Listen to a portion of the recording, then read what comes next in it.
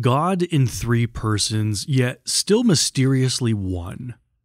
Think no doctrine stretches the mind more than the Trinity. You ready to talk about it?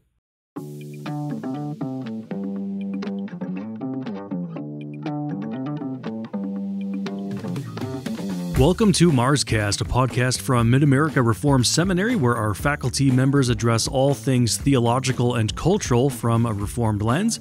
I'm your host, Jared Luchabor.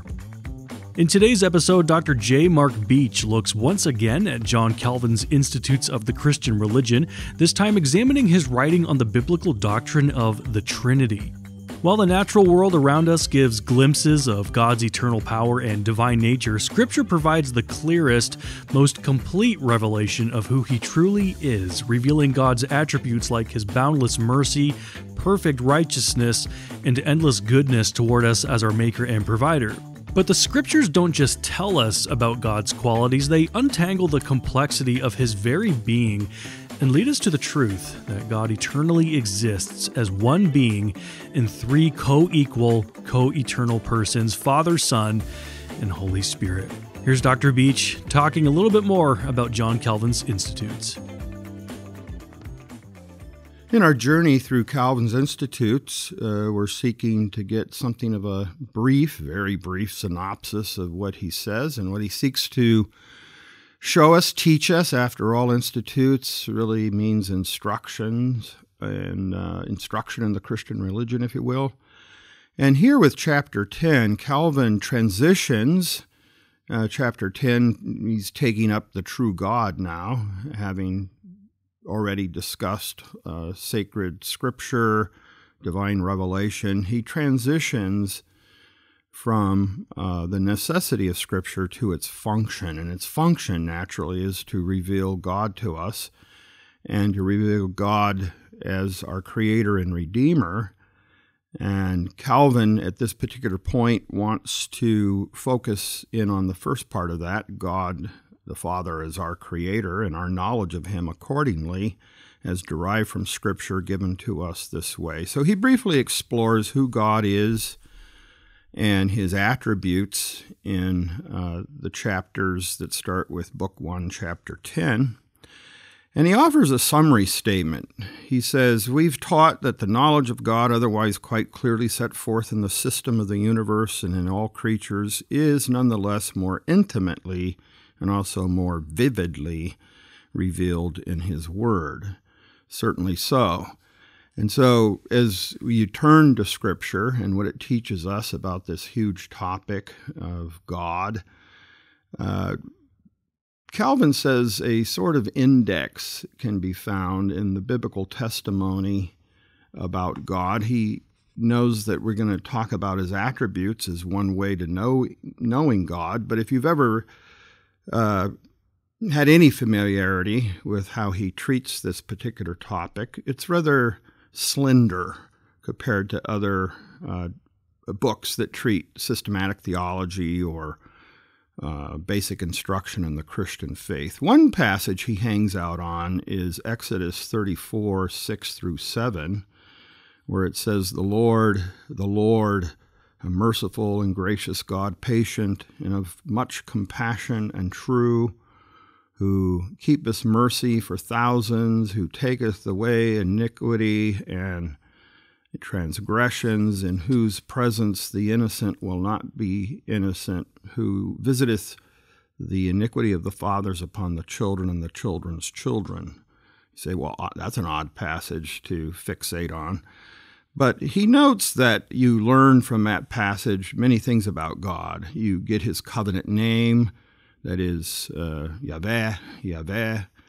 Uh, you're merciful and a gracious God. You're the God who's Elohim, uh, the God of might and power. You're the God who, as the covenant God, has definition from himself, self existence from all eternity. And then these other things that shine through his kindness, his goodness, his mercy, his justice, his judgment, his truth. Uh, Calvin turns also to Psalm 145, kind of doing the same thing. Again, rather than spend and have an extended analysis of God's institute attributes, excuse me, uh, Calvin hangs out just briefly on a couple of passages that are uh, that that exhibit multiple uh, perfections or attributes of God. Psalm uh, 145, likewise serving that purpose. Another text is Jeremiah 9:24, "Let him who glories glory in this, that he knows that I am the Lord who exercises mercy, judgment, and justice." And then using those three concepts as descriptive of God, mercy, judgment, justice, he shows how this plays out in human life in multiple ways, the way God engages us uh, in each of these ways, exercising also his power, his goodness, his holiness as he exhibits himself this way. So, in a very short chapter 10, Calvin uh, teaches us something about God as the God who has multiple attributes, but again, he doesn't spend a lot of time on that. In the next chapter, in Book One of the Institutes, chapter 11, he asks Is it unlawful to attribute a visible form to God? And generally, whoever sets up idols uh, revolts against the true God. I think I read that as a question. It is unlawful to attribute a visible form to God, and generally, whoever sets up idols revolts against the true God. Now he turns to polemics. So Calvin treats his doctrine of God proper here against idolatry. And he spends quite a bit of time exploring the evils of making images and uh, idols out of God to depict God. Goes to numerous passages that would take us too far afield to explore. But he does want us to see rather than talk about God in the abstract, he wants us to have a knowledge of God as our creator. And thus, he, as a foil over against that, he talks about idolatry, which then subverts true knowledge of God. And he likens that people are like raving madmen who turn to some use of idols and images and the like in order to function as books for the uneducated and the like. No, why don't we just let God speak to us from His Word? Let His holiness, His majesty, and might be unexplained without trying to be captured by symbolic images or something of that nature. And in exploring this, he uh, also takes us down a, a, short path in how the rise and misuse of images emerged in the history of the church. But just to get a taste of what Calvin says in this connection, he asks, What purpose did it serve for so many crosses of wood, stone, silver, gold to be erected here and there in churches if this fact had been duly and faithfully taught? Well, what fact? This that Christ died on the cross to bear our curse, in short, to reconcile us to God the Father. From this one fact, they could have learned more than from a thousand crosses of wood or stone. So, in his time and place, of course, kissing the cross, kneeling to the cross, all sorts of things, even the big symbol of Christian faith, the cross of Christ, had been turned to into something that was a bit idolatrous. So Calvin is trying to point us to true knowledge of God. So we need to get rid of our superstition toward uh, sculpted images and uh, making uh, crosses a thing of veneration and things to bow before. He, and part of his point there is look, our eyes are, aren't capable of capturing God's majesty. Calvin will go on to make clear he's not against art as such, uh, that art as such is fine, but it's certainly out of place and altogether out of place when it comes into a place of worship and uh, functions as something to be venerated. Uh, in Calvin's words, neither God nor people really are so easily hoodwinked. In chapter 12, he then takes us to how God is to be distinguished from idols, that how he's to be uh, distinguished, that perfect honor may be given to him alone. So rather than transfer anything of God's honor and majesty to uh, some sort of image or idol of our making, or even a cross that we venerate, um, he he's very concerned to rid ourselves of this problem of idolatry and to know God as he's revealed himself. And part of that revelation is you're not to make images of God, you're not to bow before them or worship them. And even if you're doing it with good intentions, um, it, it doesn't work because you're still violating the explicit command, nor does it work to use what was popular among the Roman Catholic uh, teaching of the time, still is, I suppose, where they introduced a distinction between honoring and serving or servitude, so that honor is reserved to God, but a kind of uh, servitude, a serving of saints and angels and the like, is distinguished from that. Says it makes a little sense that God is honored, but then we're kind of enslaved to something lesser than God. That doesn't make uh, that doesn't lead the Christian in a healthy understanding of his relationship with God or things like departed uh, people like departed saints and angels. So once again, God's honor is profaned in this way. We're trying to be wiser in God, in short. Let's just stick to the scripture, follow God and His word, trust that it's wise enough, good enough, and indeed apt, fitting for us. So in these chapters 10 through 12, uh, we see a common concern that we gain a true knowledge of God, and we know Him as the true God against idols. We know Him as the God who uh, has revealed himself precisely not to be, you were not to seek to capture him by idols and things of that nature. Next, what Calvin does is uh, take us to the doctrine of creation. And uh, there's a lot that's going on with that. And Calvin tells us that Scripture teaches us to know God through his works.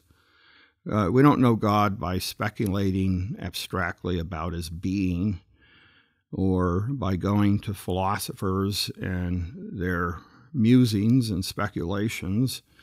But principally, we go to Scripture, and what we discover there is God in his activity, in his doing, in his works. And we know God in that way as infinite and spiritual. He's an infinite spiritual essence. And this calls us away from popular misconceptions of God. And in fact, Scripture reveals that God is infinite, and His infinity warns us against attempts to enclose Him within the confines of our own senses. Uh, and so He's getting at God's incomprehensibility at this point. Uh, chapter 13 in Scripture, from the creation onward, we are taught one essence of God, which contains three persons. So he's going to take up the doctrine of the Trinity. But before we get to the doctrine of the Trinity, we learn that because he's a doctrine of creation. We'll talk about that later, but this this fact that God is the creator is how we come to know him. God and his action and the way he reveals himself is the way we can come to grasp him. But grasp, but not comprehend fully. We can't encapsulate God within our intellect and, and kind of have him on our rope and we have him all figured out. But we do know God because of the way he has revealed himself to us. And Calvin is also, it's not only his action, it's his words surrounding his actions, of course. And Calvin's very explicit that God has to accommodate himself when he uses our language, our syntax, our uh, our way and manner of thinking and speaking. He, he stoops down and lisps, if it were, in speaking to us, a kind of divine baby talk fitted for our capacity. Well, part of what com- comes manifest as God is the creator, the providential Lord of history, the Redeemer, the Savior in Jesus Christ, is we learn that God is also triune. And the doctrine of the Trinity, of course, has been a matter of great speculation at times, uh, serious error at times, and a very difficult doctrine for the church to come to clear definition about, but finally did. Uh, Calvin himself uh, believes that technical terms were the needed ingredient to expose error to show up error and at the same time uh, exhibit biblical truth. So he makes clear in his own words and speaking the essence of God is simple and undivided, and he contains, that is, God contains all in, in himself without portion or uh, derivation, but in integral perfection. So that's God. That's that's kind of as close as you're going to get of a technical definition from Calvin about God. But he's going to also define him in his Trinity as a triune God, and thus the Father is a, is distinct in his proper nature from the Son, but he expresses himself wholly in the Son. Uh, the Father is made his hypostasis, his his person, we use that technical word there, visible in his Son. Similarly, the Holy Spirit is other than the Father and the Son, but this doesn't mean the Father, Son, and Spirit are distinct in essence, whether they are distinct in subsistence or their personhood, their hypostasis. Three hypostases, one divine essence. You go, ooh, boy, that is technical, and uh, does it have to be that hard? Well, if you're to reflect Scripture, perhaps it does. Uh, three are spoken of in Scripture, each of which is entirely God, yet there are not more than one God. There's not three gods, there's only one God. One divine essence, the more technical word ousia there, in three persons, more technical term hypostases, subsistences, each distinct from the other, but not divided from one another, not three things, one God, but three ways of uh, being uh, the one God uh, at the same time. So Calvin embraces the, the classic Christian tradition. He opposes the errors of Sabellius, the, the modalistic error the error of Arius and others who make Jesus something less than God. And he hangs out for a little while on the word person, uh, that God is three subsistences. He's, there's three existences in God, but they subsist as the one God. There, there's a existing alongside, distinct from, but not divided from the other. And the doctrine of the Trinity is perhaps something that average Christians find uh, difficult to fully grasp. That's true.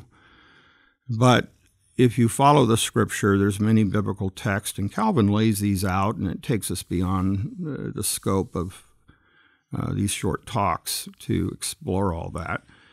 But he does expose and exposit the scripture that depicts the divinity of Jesus Christ the Son and the divinity of the Holy Spirit and the personhood of the Holy Spirit.